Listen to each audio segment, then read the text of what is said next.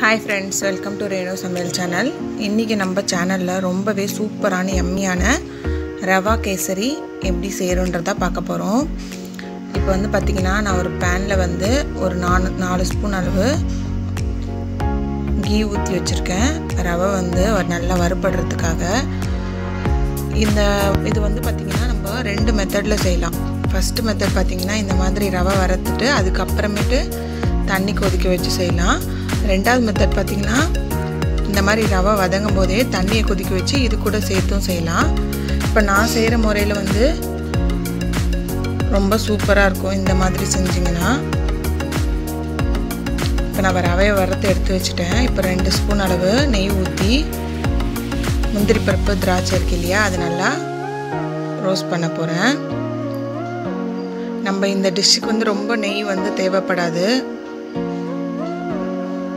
நல்லா வறுத்தாச்சு. இப்போ வந்து பார்த்திங்கன்னா நான் ஒரு கப்பு ரவைக்கு ரெண்டு கப்பு தண்ணி எடுத்திருக்கேன். இந்த கப்பில் தான் நான் வந்து தண்ணி எடுத்திருந்தேன். இந்த கப்பில் நான் தண்ணி ரெண்டு கப் எடுத்திருக்கேன். இப்போ நல்லா கொதிக்கட்டும்.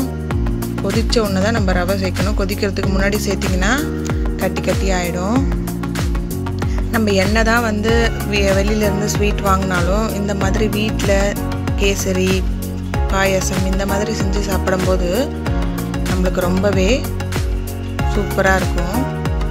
அதுவும் இந்த மெத்தடில் செஞ்சிங்கன்னா நம்மளுக்கு ரவை ஒன்றோடு ஒன்று ஒட்டாமல் பாத்திரத்திலே ஒட்டாது நம்ம ரவை கேசரி அந்த மாதிரி இருக்கும். சில பேர் செய்யும்போது ரவை வந்து ரொம்ப வேக வச்சுருவீங்க. அந்த மாதிரி வேக வைக்கும்போது கொல கொலன்னு ஆகிடும் இப்போ நான் இந்த ஸ்டேஜில் வந்து பார்த்திங்கன்னா ரவையை போட்டுட்டேன். அதுக்கு முன்னாடி பார்த்திங்கன்னா நான் கொஞ்சமாக ஏலக்காய் தூள் இருக்கு இல்லையா?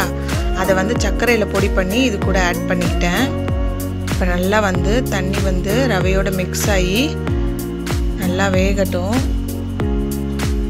கிண்டி விட்டுக்கிட்டே இருங்க அது வரைக்கும். இல்லைன்னா வந்து தண்ணி வ வத்த வத்த ரவை வந்து அங்கங்கே உருண்டை உருண்டையாக கட்டிக்கும். அதனால் நல்லா கிண்டி விட்டுக்கிட்டே இருக்கணும். இப்போ நல்லா வந்து ரவை வெந்துருச்சு இந்த ஸ்டேஜில் நான் ஒரு கப்பு ரவைக்கு ஒன்றே கால் கப்பு ஸ்வீட் சேர்த்துருக்கேன்.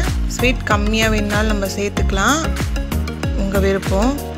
ஆனால் வந்து ஒரு கப் ரவைக்கு ஒன்றே கால் கப்பு சர்க்கரை கரெக்டான பக்குவம். இப்போ இதுக்கு தேவையான ஃபுட் கலர் கொஞ்சமாக வந்து ஆட் பண்ணிக்கிட்டேன். ஃபுட் கலர் போட விருப்பம் இல்லாதவங்க வந்து குங்குமப்பூ இருக்கு இல்லையா அது வந்து சுடுதண்ணியில் நல்லா கொஞ்ச நேரம் ஒரு ஃபைவ் மினிட்ஸ் வந்து ஊற வச்சுட்டு இது கூட சேர்த்திங்கன்னா இதே கலர் தான் வரும். கலர் தேவைப்படாதவங்களுக்கு நீங்கள் அந்த மெத்தட் ஃபாலோ பண்ணிக்கலாம். இப்போ நல்லா வந்து சர்க்கரை வந்து ரவையோடு கலந்து நல்லா இறுகிட்டு வருது. இந்த ஸ்டேஜில் நான் கொஞ்சம் கொஞ்சமாக நெய் வந்து ஒரு நாலு ஸ்பூன் அளவு ஊற்ற போகிறேன் ரொம்ப வந்து நம்ம நெய் ஊற்ற வேண்டிய அவசியமே இல்லை. கொஞ்சமாக ஊற்றினாலே போதும். இப்போ சூப்பராக ரெடி ஆகிடுச்சு நம்ம ரவை கேசரி. நீங்களும் வீட்டில் செஞ்சு பார்த்துட்டு எனக்கு எப்படி இருக்குன்னு கமெண்ட் பாக்ஸில் கமெண்ட் பண்ணுங்கள் இப்போ நான் வந்து வேறு பிளேட்டுக்கு வந்து ட்ரான்ஸ்ஃபர் பண்ணிட்டேன். இப்போ வந்து பார்த்திங்கன்னா நம்ம வந்து ரவை கேசரி ஸ்பூன்லேயுமே ஒட்டலை.